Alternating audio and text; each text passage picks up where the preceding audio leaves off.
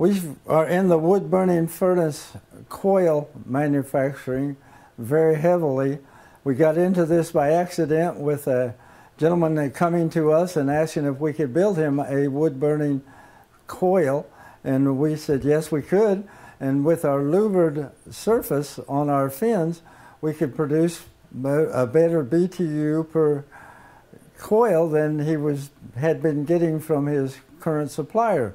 Since then, we have branched out and we have visited probably 90% of the wood burning furnace manufacturers in the United States, and we are probably the largest selling wood burning furnace coil manufacturer in the United States.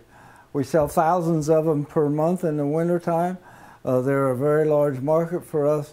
Uh, we sell to distributors as well as selling to the manufacturer itself, as well as selling to individuals. Um, that is a very large market for us.